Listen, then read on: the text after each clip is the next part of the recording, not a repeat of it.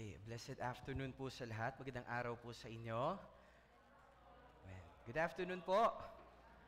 Pa- para hindi good yung afternoon ng katabi mo ah. Ang sabi sa tabi mo, ang ganda ng araw ko. Kasi ikaw ang katabi ko. Amen.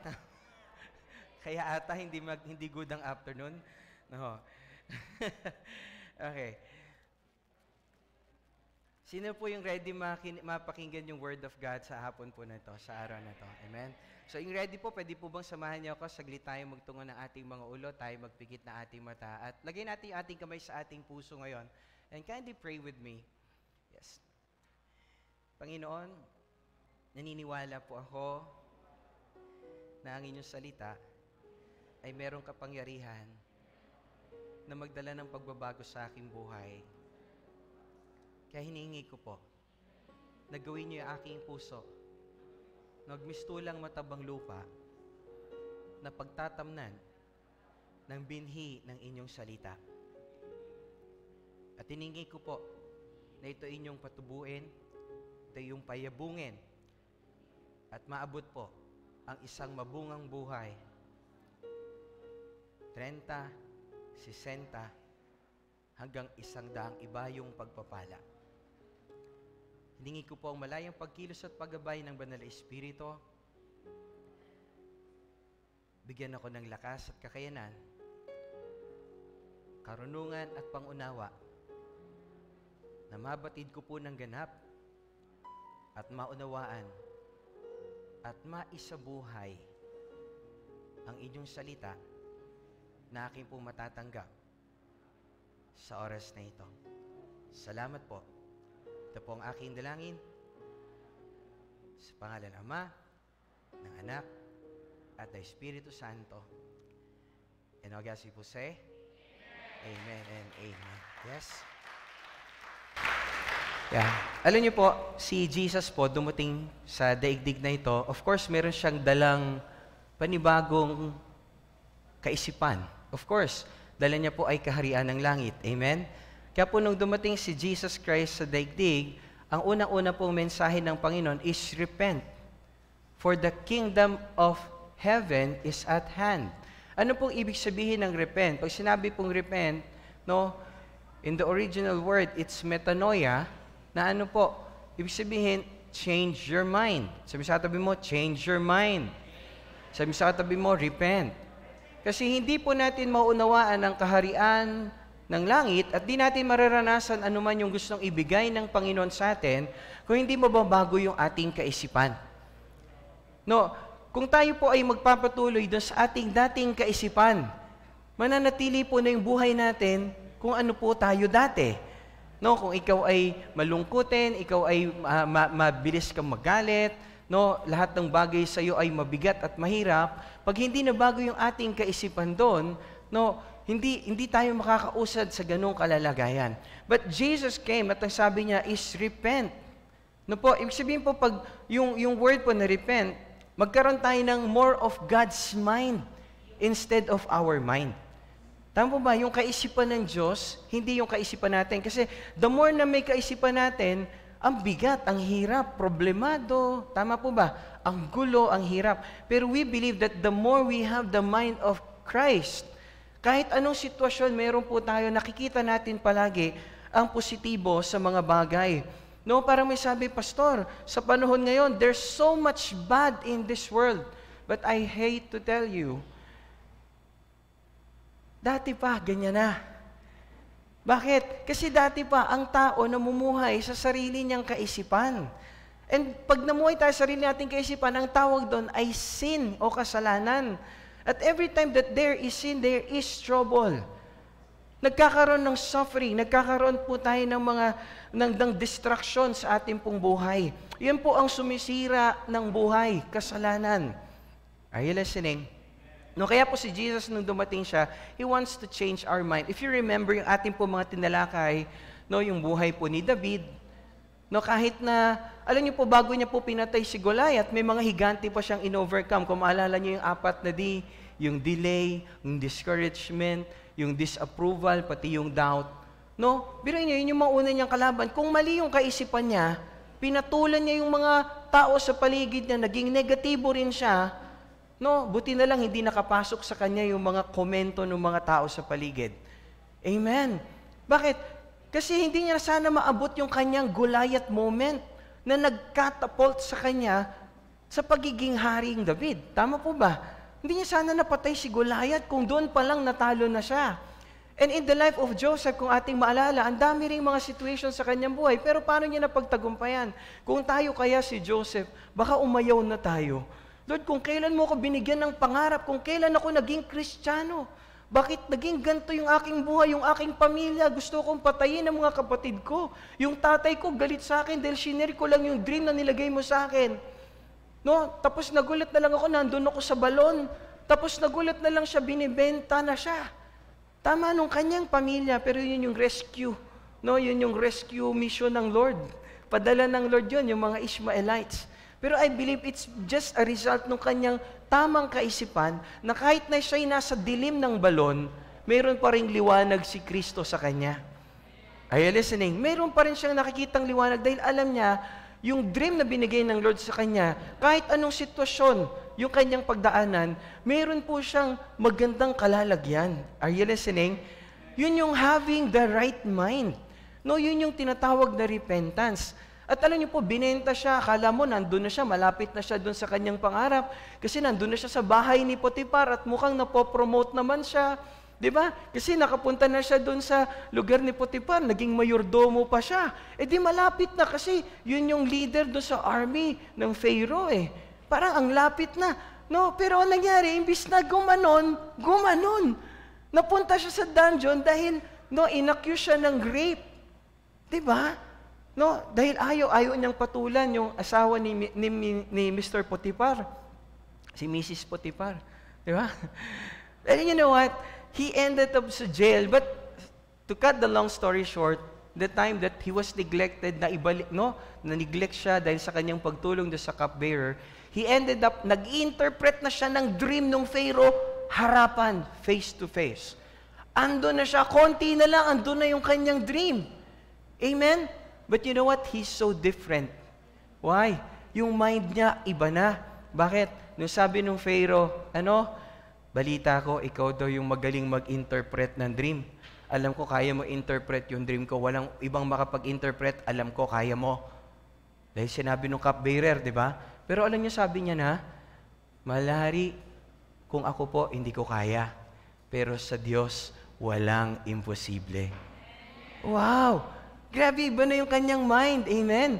No, sa Diyos, sa akin, imposible. Pero sa Diyos, walang imposible. Tama? At siya na nga po yung nailagay sa pwesto kasi wala nang makitang merong wisdom na katulad niya. At yung time na yung kanya pong mga kapatid natatakot dahil baka sila'y patayin no, ni Joseph. Dahil nga po, No, wala nang, no, pumunta na sila doon sa Egypt para kumuha ng pagkain dahil wala nang makain sa buong mundo. Sa Egypt na lang meron. And you know what? Nung naandun na yung mga kapatid yung natakot na patayin, alam niyo sabi, no, kasi sabi, sabi ng tatay, nung namatay na si Jacob, sabi ng tatay, patawarin mo na raw yung mga kapatid kung ano man yung kanilang nagawa. Totoo lang, wala namang sinabi si Jacob na gano'n. Pero alam niyo po kung ano sabi ni Joseph? you have intended to harm me. No, you have intended to harm me, but the Lord intended, no, for me to bring me here for the saving of many lives. Amen? Ibig sabihin, ang nakikita niya palagi, kahit gaano kapangit yung sitwasyon, ay ang kayang gawin ng Panginoon. Are you listening? Sino rito gusto nung talagang makalaya ka doon sa mga higante na yan? so that yung buhay mo talaga makatapult ka doon sa gusto ng Panginoon sa buhay mo. Amen? No, you know what? We need just to change our mind. Kaya po si Jesus, no, we just need to change our mind. Paano? Kapatid, di ba dati dumanas ka rin ng problema at sabi mo, parang hindi ko na kaya to? Pero totoo lang, nandito ka ngayon, ikaw ay buhay na patotoo, na buhay ang Diyos. Ikaw ay buhay na patotoo na ang Diyos kaya niyang mapangyari ang isang bagay na hindi kayang mapangyari sa ating sariling kakayanan, pero ang Panginoon gumagawa ng kilos sa ating buhay. Nagpapatotoo na siya ay buhay at nagpapatunay na ikaw ay mahal niya. Amen? No, palakpakan natin ng Panginoon because of that. Ayan, kaya ngayon tuturo ko ngayon is overcome discouragement. No, overcome discouragement. Totoo lang po, ang dami po, pag ikaw po ay na-discourage, kahit anong lakas mo, talo ka. Oh, pag na-discourage ka na, I've seen it. No, nung lumaban yung team namin dito sa Galilee, ang huhusay nila, ang gagaling. Pero alam niyo yung kalaban nila, mahusay din at magaling. Pero alam ko, kaya nilang talunin. Pero alam mo, inintimidate sila.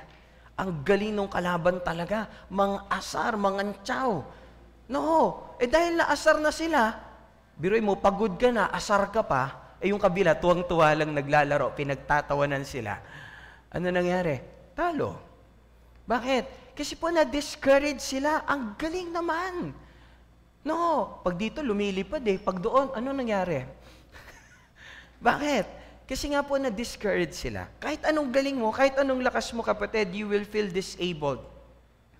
No? Yung discouragement po, it can debilitate you.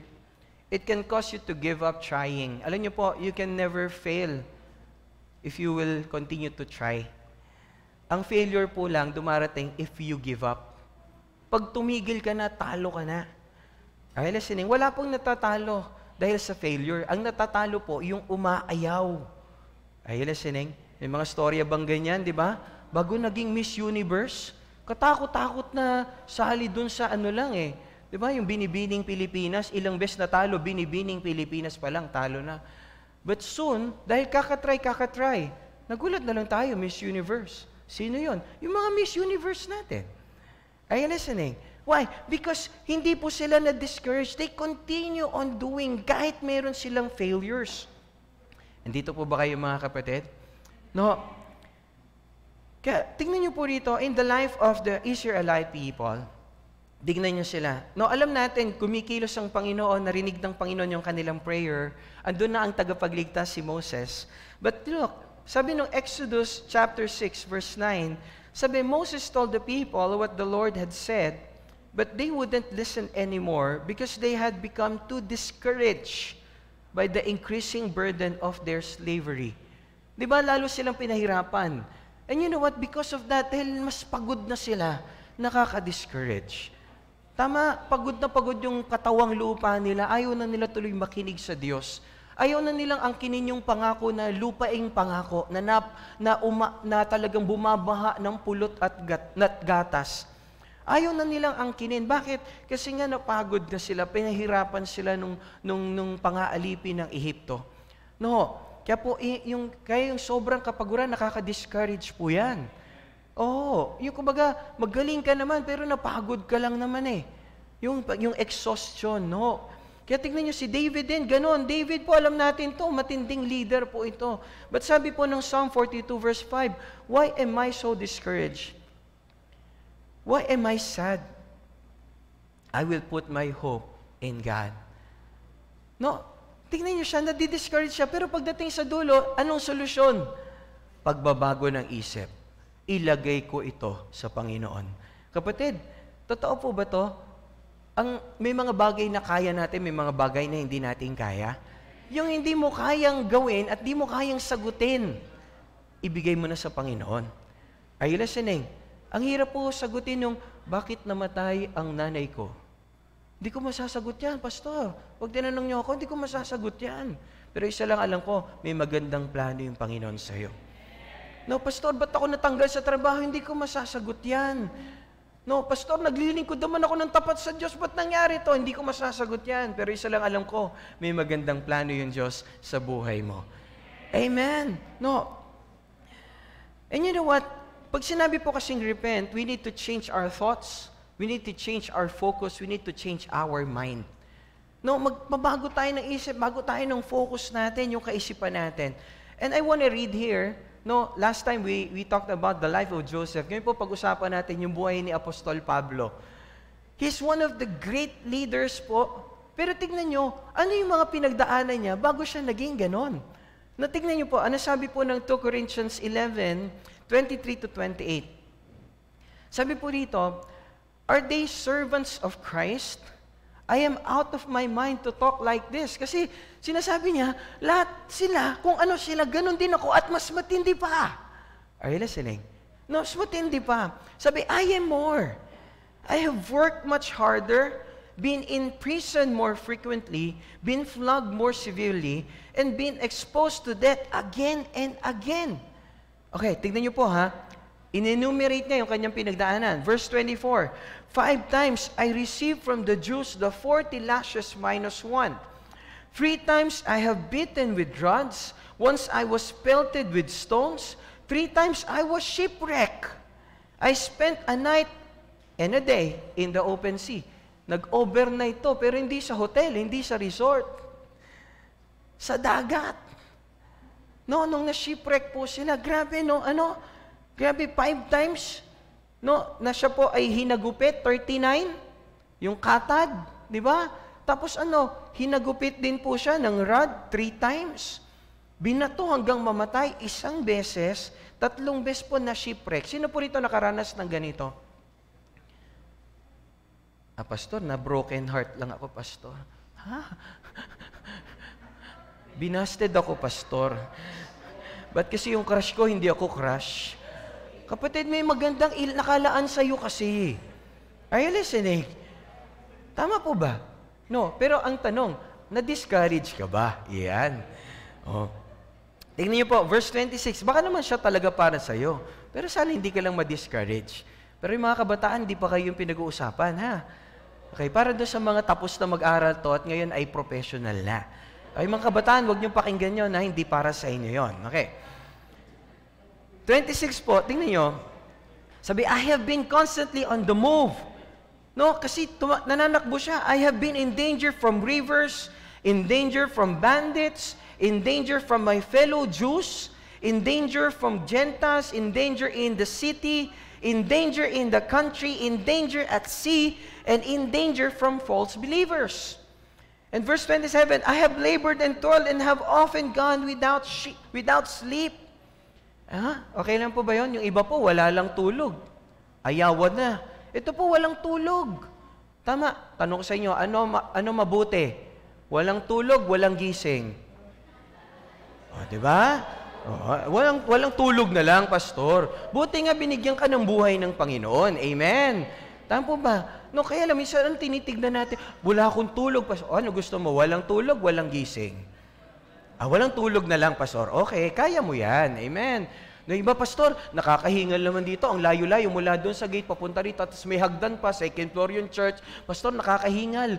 No, lalo kanina umaga, meron nag-worship. No, 8 a.m. Pagod, hinihingal ako, pastor. Sabi ko sa kanya, okay lang po yung hinihingal kaysa walang hininga.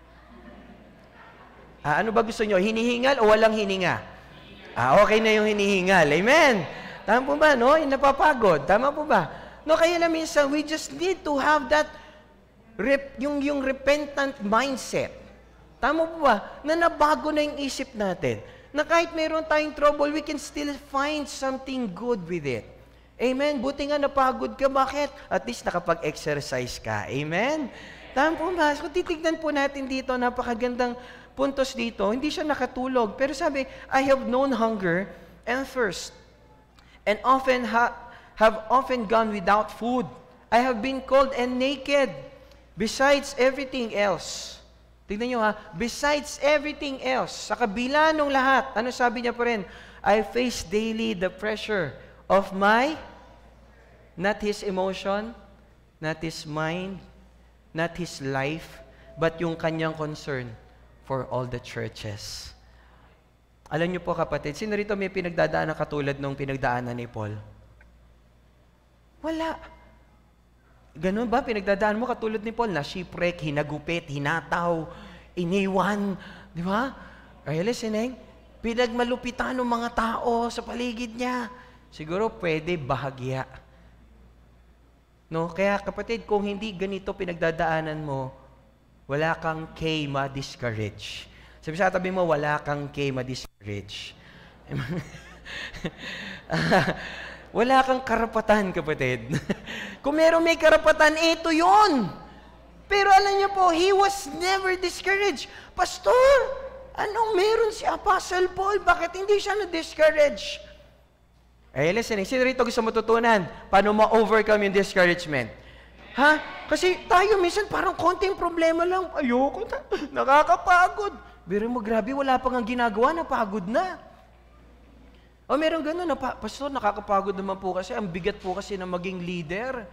Eh, may mabigat daw maging leader.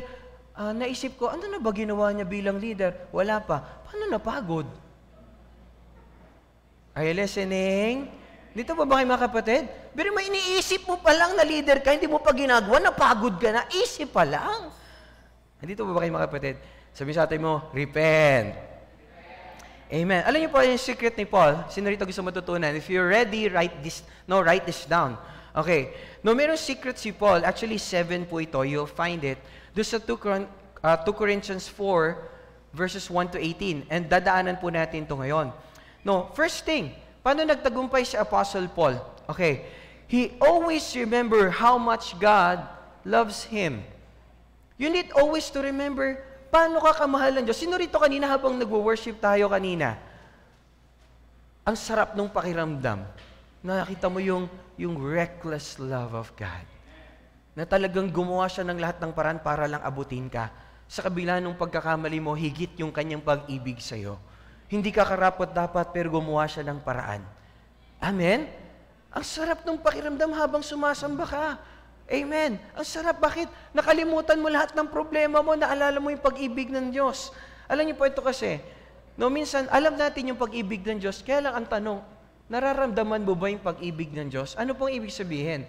Tignan niyo po rito si Apostle Paul. Sabi niya, no, tignan niyo po yung kanyang calling, paano niya tinignan. Sabi ng 2 Corinthians 4, verse 1, sabi, God in His mercy has given us this ministry and work to do. Ano sabi niya? Underline niyo po yung mercy. Ano sabihin? Nakita niyo, in-underline dyan yung mercy. Ang naalala niyo yung mercy, pag sinabing mercy, it's not just grace, but mercy. Awa at habag. Ibig sabihin, binibigay kasi nakita niya hindi siya karapat dapat mamamatay kristyano siya eh. Pero alam niyo po, because nung mercy ng Lord. Yun ang nakita niya kaya siya nagpapatuloy. Lahat ng meron ako, no, ito ay biyaya ng Panginoon. No, sabi niya, that's why we do not become discouraged and never give up. Doon siya humuhugot. Ito yung tanong ko sa iyo, saan ka humuhugot? Sa ka humuhugot ng lakas? Sa ka humuhugot ng buhay? No, kasi kung nasaan ka ngayon, yan ay biyayang galing sa Diyos. Yan ay biyaya. Yan ay habag. Are you listening? Ako po ngayon nakaharap sa inyo, ito po ay habag ng Diyos. I'm not worthy to be here. Kaya po, no, sabi nga no kapatid, wala, walang, naka, walang, hindi, walang karapat dapat. Tama po ba? But we are not worthy. But salamat sa biyaya, salamat sa awat habag ng Diyos. Amen. Dahil kung ano tayo ngayon, ay dahil sa Kanya. Are you listening? Lahat ng meron tayo ay dahil sa Kanya. No. Yung mercy po, yung binibigyan tayo ng Diyos ng ating kailangan. Hindi ng ating gusto. Kasi kung yung gusto natin, baka napariwara tayo. Amen po ba? No, kaya tingnan natin, biyaya po yun. Habag po yun. No, hindi tayo karapat dapat, pero binuhay ka ng Diyos ngayon. Are you listening? At ang tawag po doon ay mercy. Kapatid, wherever you are, alalahanin mo, mahal ka ng Diyos. No, kasi po merong tao lumapit doon sa pastor. Alam niyo sabi nung sabi nito, no, kada preaching, no, sabi nung sabi nung babaeng matanda, lumalapit siya doon sa pastor, sabi niya, "Pastor, alam niyo, I was convicted doon sa mensaheng ito. Kinonvict talaga ako ng Lord. Ito yung ni-reveal niya sa akin ngayon na kasalanan ko. Kinonvict niya ako." Sumunod na linggo, ganoon na naman. Maggrabe, linggo-linggo, lalapit sa kanya kada tapos ng preaching, lalapitan siya nito. No, sabihin, Pastor, I was convicted by the Lord sa kasalanan to. Grabe, yung para bang ano, ito yung sin of the week. no? Parang ito yung sin of the week, pastor. Pero kapatid, pwede bang baguhin naman natin yung tingin? Ang tignan natin palagi yung pag-ibig ng Panginoon. Are you listening? No po, kasi parang ganun, kasi pagka pa, hindi pag-ibig ng Panginoon ang tingin natin, ano man yung maring, maring ngayon, tamaan kayo sa mga sinasabi ni Pastor, Oh, ay, pinapatamaan ako ni Pastor. Grabe, nagpuyat si Pastor, nag-prepare ng message. Halos parang isang linggo ni, ni pinrepare para lang sa'yo. Are you listening? Hindi po. Wala po ako intensyon magpatama. Bakit pag nagpatama ako, next week, wala ka na dyan? At ikalulungkot ko yon. Are you listening? Dito po ba mga kapatid? No, Si Lord po, sabi nga ng John 3.16, For God so? Kaya niya binigay sino? Si Jesus. Whoever believes in Him shall not perish but have everlasting life. Hindi niya pinadala yung kanyang anak para tayo i-condemn, para tayo ay iligtas. Are you listening? Ibig sabihin, pag-ibig ang dahilan, kapatid. Kaya ka ng Diyos, isa, ang purpose mo, para mahalin ka. Andito po ba kayo mga kapatid? Hindi para i-condemn ka, hindi para parusahan ka. Even ang parusa, sabi ng Bible, God disciplines whom He loves. Kaya kung tingin mo pinaparusahan ka, huwag mo tignan galit sa iyong Diyos, mahal ka niya. Amen. Nananatili yung pag-ibig niya sa iyo kahit na may pinagdadaanan ka, kapatid. He loves you so much. Amen. Yung primary purpose kaya ka ginawa ng Diyos dahil mahal ka niya, is not because of what you did or yung hindi mo ginawa o yung ginawa mo. No, He loves you.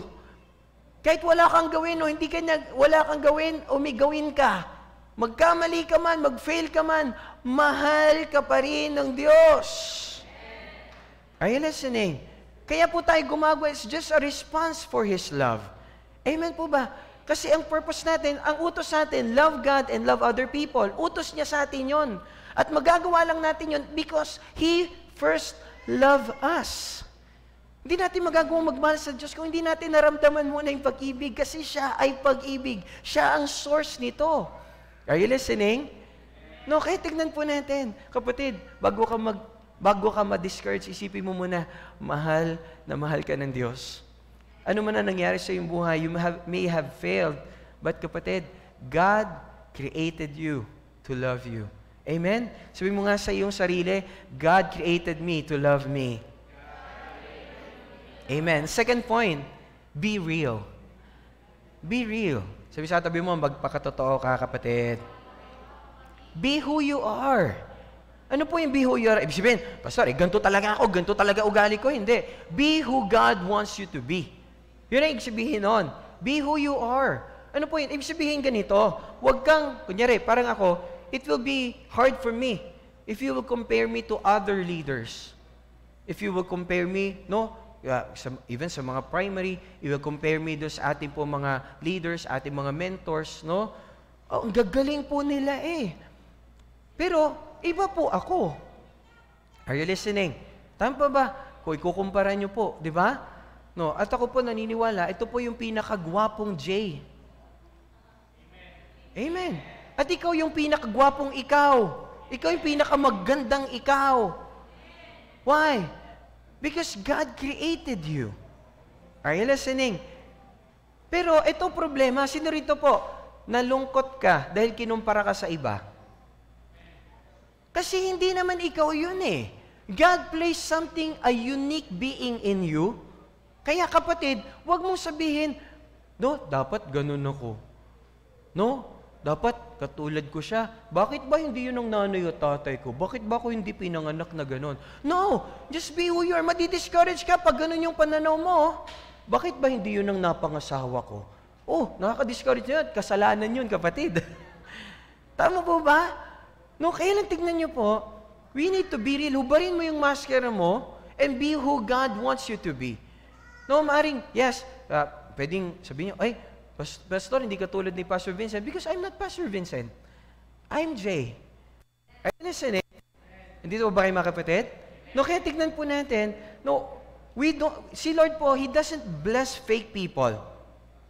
Be the person God wants you to be. Be the person God wants you to be.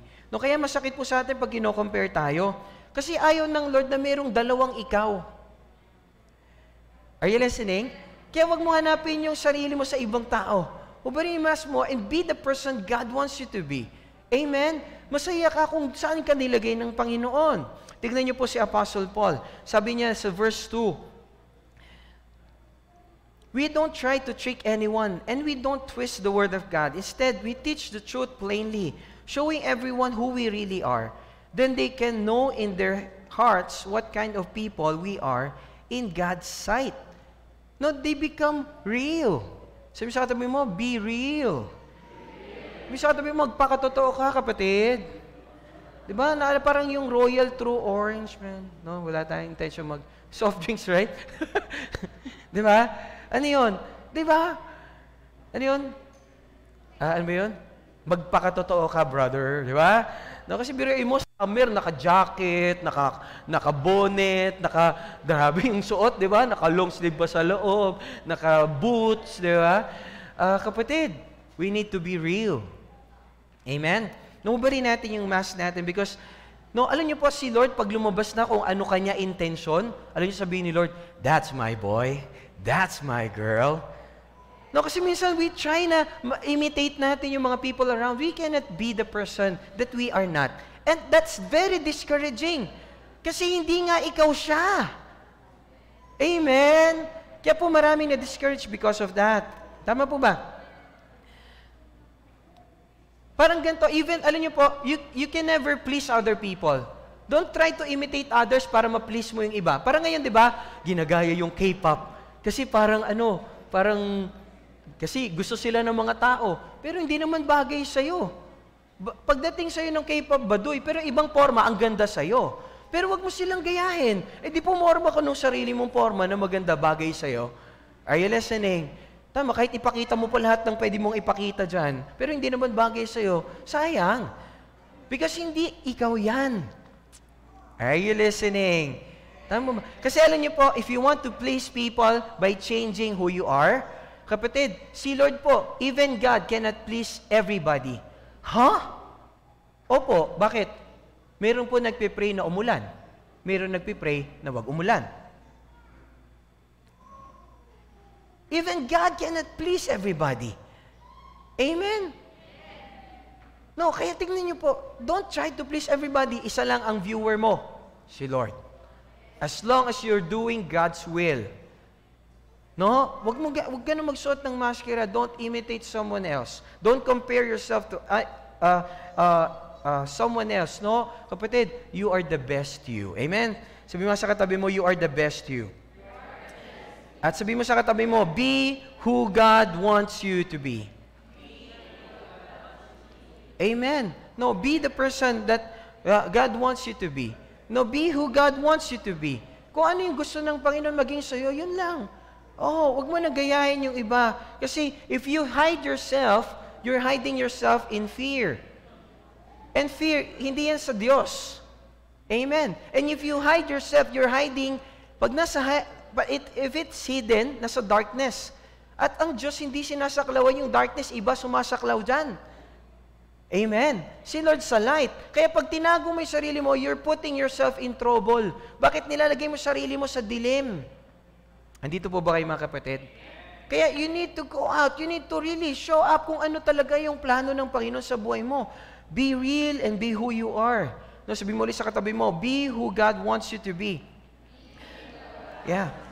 Number three, remember, it's not all about you. Remember, it's not all about you. Alam niyo po, no, you are not the center of the universe. I am not the center of the universe. Alam niyo po, pagka yun ang naisip natin, we, be, we will be prideful. Magiging fearful din tayo kasi mag-fail tayo. Tama po ba? At alam niyo po, we will feel bitter. We will feel discouraged. Bakit? Alam niyo po yung word din na dugtong ko rito? Self-entitlement. Ano yung self-entitlement? Ay, pastor ako, dapat, bakit hindi no, ganon? Bakit hindi ganyan? Pastor ako. O kaya, nanay ako, tatay ako. O kaya, si, si leader ako, dapat ganito, dapat ganon. Dapat sinusunod. You will be discouraged. Bakit? Self-entitlement yun eh. Are you listening? Kapatid, tingnan niyo po si Apostle Paul, paano niya po pinagtagumpayan niyang ganyan, no? Tingnan niyo po, 2 Corinthians 4.5. Kasi po, ang galing niya, leader siya, di ba? Disciple siya ng Lord. Pero dapat i-respect siya. Pero hindi lahat ganun eh. Pero paano niya hinarap yan? Sabi, our message is not about ourselves. It is about Jesus Christ as the Lord. We are merely your servants for Jesus' sake. Ano tingin sa sarili niya? Alipin. Ganun ba tingin natin sarili natin while we are serving the Lord? Or we feel we are self-entitled? Kapatid, pag self-entitled ka, you're putting yourself into trouble. Bakit? Eh kasi madi-discourage ka talaga eh. Biri mo si Joseph, kung yung mga tinulungan niya, nakalimutan siya, tapos na-discourage siya, ayoy, ayoko na talaga, Lord, magpapaamatay na ako, nandito pa ako sa prison ngayon. Shh! Tapos. Ibig sabihin, paano na ang Ehipto, paano ang Israel, paano ang buong mundo? Wala nang magtitipo ng pagkain para sa parating na tagtuyot. Are you listening? Tama po ba? But because meron siyang tamang pananaw, He knows who he, His God is. Amen. Yung Diyos na wala imposible, naging tama po yung lahat. Alam niyo po, it's not about us, it's about Jesus Christ. No, kasi po lahat ng sa society ngayon, ano, sinasabi, kailangan mo nito. You need to take a break. You need to take this. Tingnan niyo po yung mga advertisement, lahat para sa para sa iyo to. No? Kung ano, ikaw to, 'di ba? Mga ganoon, 'di ba? Puro oh, you need time. Uh, pamper yourself. Yung mga ganoon, 'di ba? Hindi eh. Ano po? Tingnan niyo, the society, tingnan niyo sa Facebook. No, pwede, sige, away mo sila, basta mag-isa ka lang. Okay lang yan. Love yourself. Mga ganun. Kapatid, may danger po doon. It's okay to love yourself, pero pag mali yung context mo, patay ka dyan. No, pero unahin mo muna si Lord bago yung sarili mo. Actually, love God, love others, love yourself. Kaya J, Jesus muna, tapos others, tapos Y, you. Kaya J-O-Y, and that spells joy. You feel joy every time na inuuna mo ang Diyos, sumunod ang ibang tao, at sumunod ang iyong sarili huli yung iyong sarili. Pagka hindi ganun ang ginawa mo, baliktad na yon. Yodge? Gio? Problema ka doon. You will not experience joy, kapatid.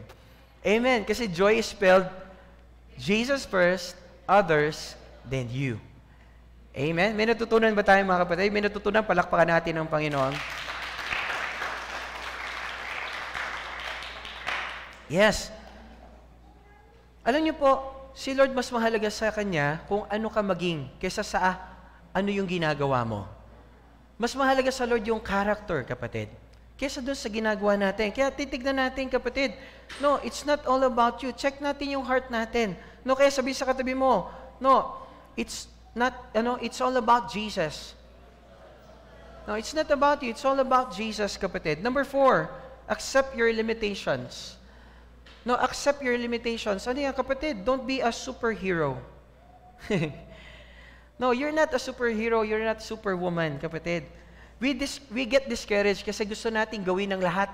Na para bang tayo si, si Superman na kayang gawin ng lahat. Spy, no? Hindi po.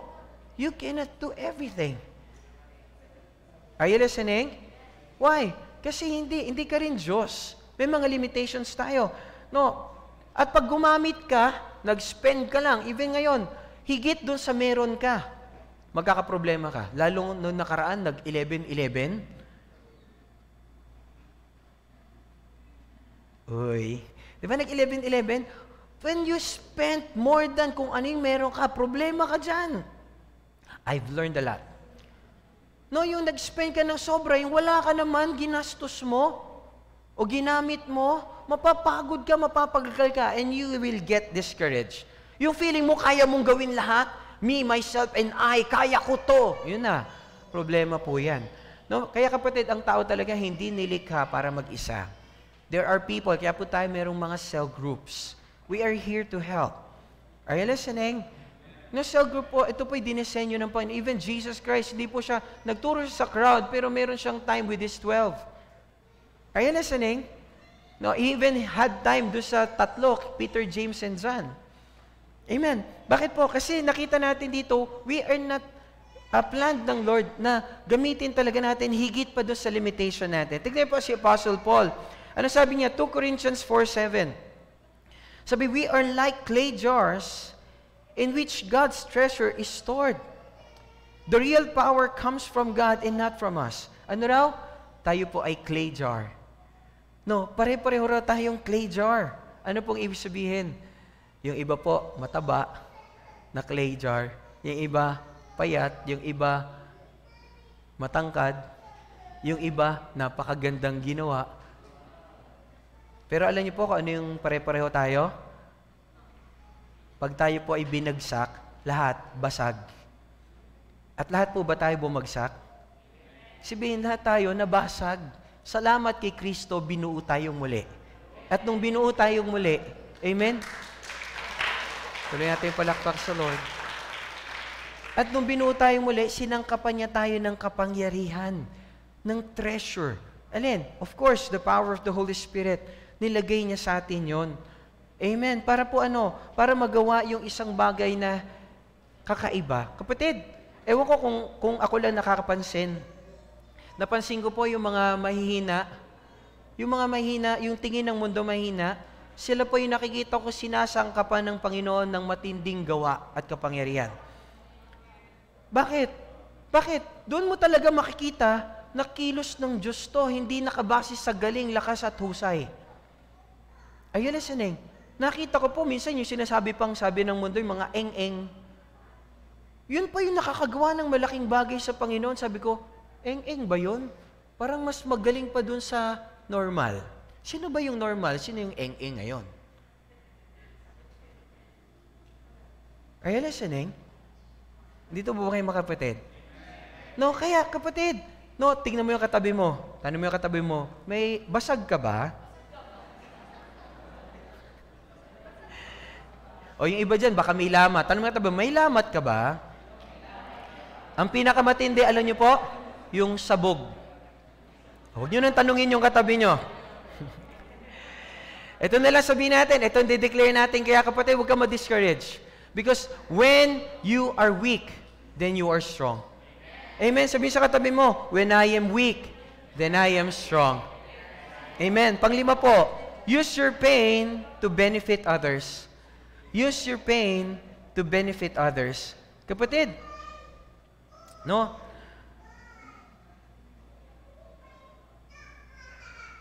Huwag nating sayangin yung pain natin. Alam niyo po, ang dami kong pinagdaanan. And you know what? Nagagamit ko po yung pinagdaanan ko na ayokong mangyari sa aking buhay para po maging instrumento, para po ako'y maging blessing po sa iba. Na hindi na nila pagdaanan yung pinagdaanan ko. At isa pa, para tignan ko po sila ng tama. Minsan meron ako sitwasyon na sabi ko, Lord, bakit nyo pinahintulutan tong bagay na to sa buhay ko? Pero nakita ko yung dahilan. Bakit? Merong kapatid na nahulog doon sa kasalanan. Mas matindi pero alam niyo po, dahil sa nakaranas din ako ng sitwasyon to, nakita siya na may mapagbiyayang pananaw. Matindi rin yung aking nagawa sa Panginoon. Pero because pinaranas sa akin ng Panginoon yon, inalis ng Panginoon sa akin yung pride. He taught me pa, na ako mag-flow sa grace. At magkaroon ako ng habag sa tao na to. And because of that, nakita ko siya na ano, ng tama, hindi ko siya ginudge. Hindi siya kinondemn. And you know what? Binless siya ng Panginoon. Nagpapatuloy siya sa Panginoon at naging fruitful siya sa Panginoon. Amen? No, kaya lang kung titignan natin kung iyong kung mali yung tingin mo sa kanya, magkakaroon ng problema. Tama po ba? Ay, yun what, tignan niyo po si Apostle Paul, paano po siya nag-put up dun sa lahat ng situation. Tignan niyo rito, sabi po ng, ng verse 8 and 9, sabi niya, We often suffer, but we are never crushed. Tignan niyo si Apostle Paul to ha. Even when we don't know what to do, we never give up. In times of trouble, God is with us. Amen. And when we are knocked down, we get up again. Grabe, bakit ganon? Tingnan niyo, ang dami niyang pinagdaanan ha. No, parang, parang tanungin natin, Paul, paano po, paano napagtagumpayan lahat ng pinagdaanan mo? Tingnan niyo, ano sabi ng verse 15? Sabi, all of these sufferings of ours are for your, for your, wow, And the more of you who want for Christ, the more there are to thank Him for His great mercy and the more God gets glory. Ano raw po? Yung kanilang suffering daw, ginagamit ni, ginagamit ni Paul yung suffering niya para ano? Mag-benefit daw po yung iba. Are you listening? Para pong ganito, no? Redemptive suffering kasi itong nangyari dito kay Paul eh. No, siya po ay nag-suffer para sa kaligtasan ng iba same as Jesus Christ. Kapatid, the more you sacrifice your life, no, para sa benefit ng iba, kapatid, you become more like Christ. Amen. You become more like Christ. No, alam niyo po, ang dami pong studies that the the the the, the people, no, can overcome great amount of pain pag merong maganda o great purpose. Pag merong magandang layunin, a person can really, you can be stretched out ng napakatinding pain. No, alam natin yung story ng ating mga bayani. Bakit? Meron kasing mga purpose. Kahit ang tindi ng pahirap sa kanila, wala silang ginagawa, hindi sila umaamin. Hindi sila nagsusumbong. Bakit? Kasi merong purpose yung kanilang ginagawa. Amen? No, kaya tignan po natin. No, tignan natin, lagyan natin, merong purpose yung pain natin, kapatid. No, parang ganito po, maring tanungin nyo, Pastor, nagpe-pray ka ba ng malaking church? Actually, kung sa akin, yung sa iyo, Pastor, yung para sa, sa akin, okay na yung isang daan. Bakit? E biruin nyo po, may pamilya ako. Tama. Pero nyo po, Pastor, bakit nagpe-pray ka ng malaking church? Bakit? Kasi po, nakikita ko yung purpose. Mababago yung ating bayan. Mababago yung ating bansa. Are you listening? Totoo lang, di po madali yun. Bakit? May pamilya ka. Tama, may personal. Minsan nga, nakalimutan na yung personal. Family, naisip mo. Tama. No, tapos, meron ka pang, meron kang mga disciples, may mga leader ka. Tapos kung meron kang, ngayon po, uh, we're, coming na 300? Grabe. Are you listening? Tama, and we believe next year will be a thousand. Are you listening? Because God, God, Pastor, kaya ba? Hindi ko kaya. Panginoon kaya. Amen po ba? Um, pero you know what, Pastor, mabigat na problema yan, yes. Pero para sa akin, hindi na. Pero you know what? But because of God. Because of the vision that we're running. Are you listening? Because we want to see a nation transformed. Are you listening? Kaya po natin, kaya po natin to, there's a great purpose. No, kaya sabi mo sa katabi mo, no, sabi sa katabi mo, God allows my pain for a purpose. Amen. Sabi sa katabi mo, God allows my pain for a purpose. At pang-anim po, take time to recharge. Tinan mo yung katabi mo. Tinan mo yung mata niyan. Kapatid, recharge. Mukhang kailangan na ba mag-recharge? Kumain nata ng maraming rice kanina. Kapatid, if you don't know how to recharge, if you don't know how to renew yourself, no, mag-refresh ng sarili mo. Di ba kahit nga computer, nagre-refresh? Tama ba yun? No, kahit nga TV, nagre-refresh. Alam niyo ba, hindi niyo na nakikita, nagre-refresh yung TV? Oo, yung cellphone din, nagre-refresh yan. Lahat po. No, kailangan ng recharge. Si cellphone ba nalolobat din? Yung katabi nyo, nalolobat din ba yan? Pero alam natin, pag gutom tayo, saan tayo? Kain. Punta ka kung saan, right? Para kumain. Resto. Pero kapatid, spiritual, devotion. We need to learn to pray. We need to learn to read the Word of God araw-araw. Tingnan po si Apostle Paul, 2 Corinthians 4.16. Ang sabi, This is why we never give up. Tingnan nyo rito, listen ha. Though our bodies are dying or wasting away, our spirits are being renewed every day. Why? Because of the presence of God. Because of the presence of God. Amen? Alam niyo po, I've talked to people na, alam niyo yun, yung parang, sabi ko, ano nangyari sa kapatid? Kasi dati parang ang init-init niya sa Panginoon. Tapos, parang iba na, nagbago na yung kanyang salita, parang lahat sa kanya burden na, lahat sa kanya mahirap na. Tapos tatanungin mo lang, kamusta devotion mo? Pastor, wala na.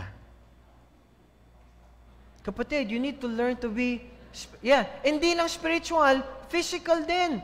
Yung iba po, magaling naman talaga, malakas naman talaga, napagod lang. At minsan, pagpagod ka, di ba, nakaka-discourage, like the Israelites, nakaka-discourage. Amen? No, pagpagod ka lang, nakaka-discourage. Take a rest. Pero kapatid, huwag kang hihinto. Pagpagod, magpahinga. Amen? Uh, pagpagod, magpahinga, hindi huminto. Amen po ba? Matulog ka, mag-relax ka, go somewhere else na pwede kang mag, mag-sightseeing ka, unwind ka muna, go swimming, take a shower. Tama ba? Tsaka ka bumalik. No? Why? Hindi, hindi give up ang sagot. Amen po ba yon? Okay po ba yon? Dahil wala pong nananalo sa kakaayaw. Amen. No, we need to learn to be renewed every day. Sabi mo sa katabi mo, Jesus renews me every day. No. Sige po, let's declare it again. Jesus renews me every day. Okay, and number seven, keep your eyes on eternity. Kapatid, alam niyo po, ang daming na-discourage. Bakit? Nawala yung kanilang paningin sa eternity. Pag nawala yung focus natin sa eternity, it will make us experience discouragement. Opo. No, wag mo tignan yung ngayon at saka yung bukas. O kaya yung nakaraan. Tignan mo yung future mo kasama ang Panginoon, yung eternity. Kapatid, sabi ng 2 Corinthians 4, 17 to 18, sabi po, Our present troubles are quite small and won't last very long. Ano raw? Yung pinagdadaanan daw niya, yung present trouble daw, won't last very long. Ano yung pinagdadaanan niya? Hinagupit limang beses. Tatlong beses ng lat, no? Limang beses ng latigo, tatlong beses ng rod. Binato isang beses hanggang mamatay. Na shipwreck tatlong beses. Ha? Yung mga tao sa paligid niya, pinapersecute siya. No, kinokondemn siya. Pero sabi niya, saglit lang yan. Amen? Sabi niya, yet they produce in us an immeasurably great glory that will last forever. Amen? So we don't look at the troubles we can see right now, Rather, we look forward. Sabi sa katabi mo, look forward. No, to what we have not yet seen. Yung hindi natin nakikita. Yung hindi natin nakikita, yung eternity. Yung kasama natin ng Diyos. Sabi ng verse 18, sabi, For the troubles we see will soon be over, but the joys to come will last forever. Wow. Amen? No, alam niyo po, there are three encouragements na pwede tayo magkaroon. First thing is external. Pwede ka ex- eh, encourage sa mga nababasa mo, no, books, mga tao sa paligid mo. Internal din. You can declare it personally. No, maaaring mag-declare ka din ng Word of God. Right? But alam niyo po, pinakamatindi, isa, eternal. Eternal. Nakikita mo na, na Lord, Di ko pagpapalit, di ko pagpapalit, di ko pagpapalit. Naalala yung kantang yon? Ang kaharian ng Diyos, ha? Ang kaharian ng Diyos, di ko pagpapalit. Amen? Bakit? Kasi po nakita natin minsan yung problema at ninanakaw tayo na makita natin yung to, tunay na mahaba. Alam niyo po yung buhay natin, ito lang.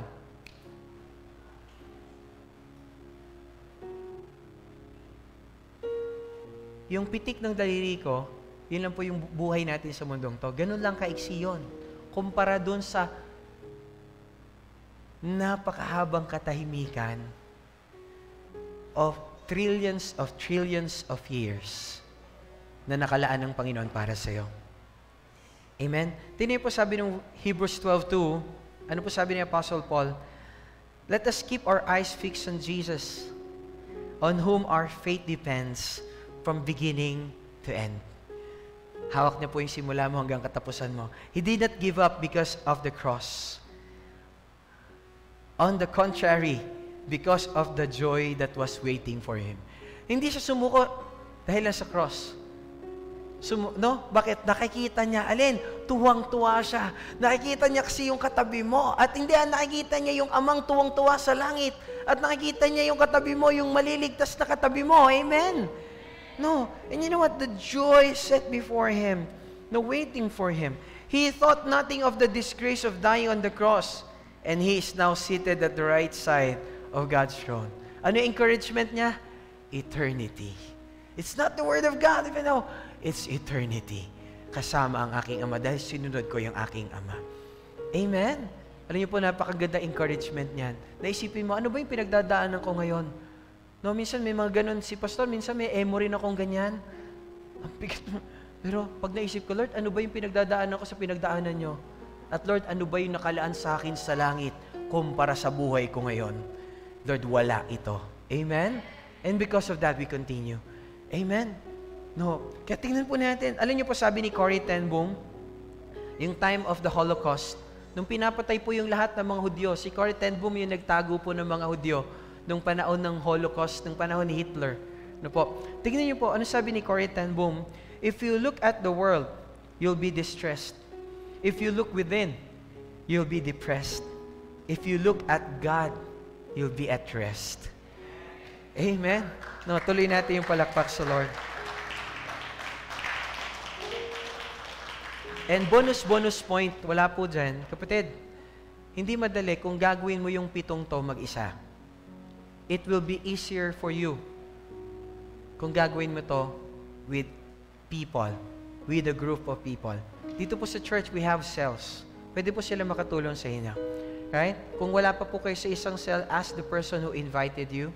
No? Uh, you ask pastor, ask the people, yung mga ushers natin, na saan ako cell group na pwede po mag-join. And we are glad to help. Amen? Pwede, madali pong gawin yung pito na yon. Mas madaling gawin yung kung nasa cell group ka. Are you listening? No po? And I'd like to close here. Alam niyo po yung pangako ng Panginoon sa mga hindi nag-give up? Amen? Sabi po ng Galatians 6.9, and we read it kanina po before we started. Sabi po, let us not get tired of doing what is right. Tama, wag daw tayo mapagod gumawa ng mabuti, for after a while, we will reap a harvest of blessing if we don't get discouraged and give up. Amen? Sino rito po gusto mo i-claim yung pangakong ito? Amen? Sino rito niwala yung katabi mo may great harvest na nakalaan? Sino rito niwala yung katabi mo pag hindi lang nag-give up yan, kapatid? No, pag hindi lang nag-give up yan, pag hindi lang sumuko yan sa anumang challenges na maaring na dumaan sa kanyang buhay, hindi siya uminto at patuloy niya pa rin sinunod ng Panginoon, aani siya ng sagana. Amen? Yung naniniwala po, pwede ba samahan ako manalangin ngayon? No, tayo magtungo ng ating mga ulo ngayon, tayo magpikit ng ating mga mata. And just pray with me. Yes. Panginoong Ama, Lord, hindi ko po alam kung sino po yung nangangailangan ng mensaheng to ngayon. Pero Lord, naniniwala ko, alam niyo po kung sino rito yung nandun na sa edge, nasa edge of discouragement. At sino rito yung naandun na ngayon, Panginoon, at nalulog mo. At Lord, aking pong dalangin na huwag niyong hayaan na marinig lang namin yung mensaheng to at matutunan lang namin Kundi Lord, dalangin ko po na ma-practice namin ito at mai-apply po namin ito sa aming mga buhay. At Lord, da- kunin po namin itong pitong steps na ito sa aming buhay so that hindi kami maka-experience, Lord, ng discouragement or we will be able to overcome discouragement na totoo naman po na ayaw nyo para sa amin. Kapatid, ngayon, ikaw naman yung manalangin. Panginoon, tulungan niyo ako na hindi ko makalimutan ang napakatindi niyong pag-ibig sa akin. Tulungan niyo po ako na maging totoo at maging confident kung ano niyo ako plano maging. Tulungan niyo po akong maalala that it's not all about me that it's all about you, Jesus. Lord, help me natanggapin yung aking mga limitasyon at hindi ko po subukan na maging superman o superwoman. But akin pong ma-realize na meron pong kapangyarihan sa aming jars of clay Tulungan niyo po kaming makita na kayo ay kumikilos sa kabila ng aming kahinaan. Panginoon, sa panahon na ako ay may pain at may suffering, huwag niyong hayaan na ako ay manatili rito. Gamitin niyo po yung aking pain para tulungan ng iba. Tulungan niyo po ako to take time na mag-renew ng aking sarili.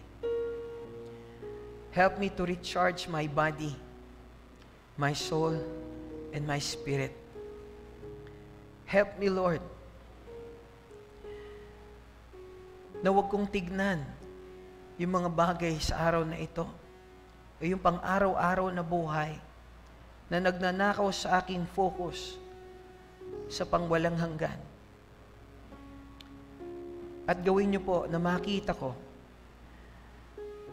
na yung aking mga trouble at lahat ng aking pinagdadaanan sa buhay na ito ay hindi maikukumpara sa napakahaba eternity na kasama kayo sa langit. Kapatid, sabihin mo ito, Panginoon, gusto ko pong angkinin ang pangako ninyo na kung ako ay hindi mapapagod at patuloy kong gagawin ang matuwid, ako ay aani ng sagana kung hindi ako aayaw. Panginoon, hindi ako aayaw. Magtitiwala ako kung paano nagtiwala si Pablo. Ito po ang aking dalangin sa pangalan ni Jesus. Amen. Dankeschön.